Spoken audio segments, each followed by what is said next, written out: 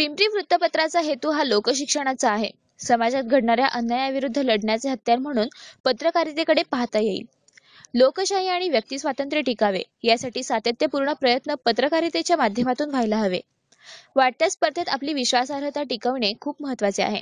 असे मत टिळक महाराष्ट्र विद्यापीठाचे कुलगुरू डॉक्टर दीपक टिळक यांनी बुधवारी व्यक्त केले. पत्रकार दिनानिमित्त पिंपरी चिंचवड श्रमिक पत्रकार संघातर्फे चिंचवड येथील ऑटो क्लस्टर सभागृहात ज्येष्ठ पत्रकारांचा सन्मान करण्यात आला. त्यावेळी आजची पत्रकारिता या विषयावर झालेल्या व्याख्यानात ते बोलत होते. दर्पणकार आचार्य बाळशास्त्र जांभेकर यांचे वंशज मनोहर जांभेकर वारकरी शिक्षण संस्थेचे माजी अध्यक्ष मारुती महाराज कुरेकर महापौर शकुंतला धराडे सहआयुक्त दिलीप गावडे आदी यावेळी उपस्थित होते.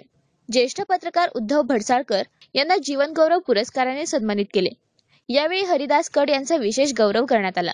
डॉक्टर टिळक म्हणाले पत्रकारितेला नैतिक अधिष्ठान असायला हवे. नीतिमूल्य जपली नाही तर वृत्तपत्रांसमोर स्पर्धेत टिकण्याचे मोठे आव्हान उभे राहील.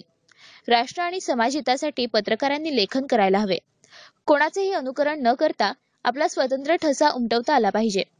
काळाशी सुसंगत पावले टाकत अत्याधुनिक संपर्क साधनांचा वापरही वाढायला हवा. जांभेकर म्हणाले पत्रकारिता हे असिधारा व्रत आहे. योग्य पुराव्यांसह सत्य लोकांसमोर मांडण्याचे काम पत्रकारांनी रोखठोकपणे करावे. समाजाला दिशादर्शन करण्याचे काम वृत्तपत्राच्या माध्यमातून अभिप्रेत आहे.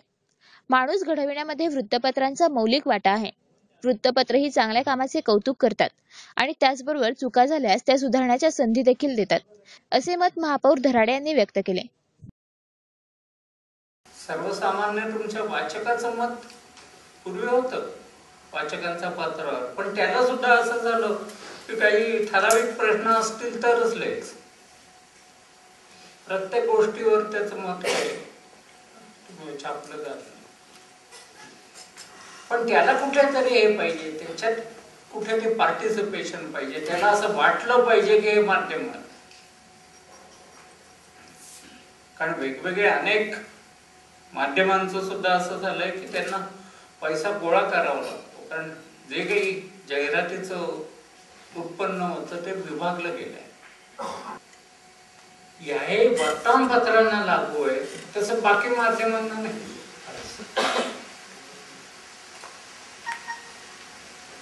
त्याच्या पटकन तोडून मोडून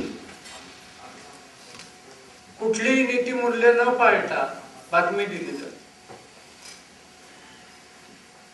मी बोलतो याच्यातले दोनच शब्द काढले काही ते पुढला मागला संदर्भ काढला तर काही ते वेगळा अर्थ होऊ शकतो एखादी गोष्ट आपण वाहून जातो आणि इतक्या प्रमाणात देतो की ज्याची गरज नाही.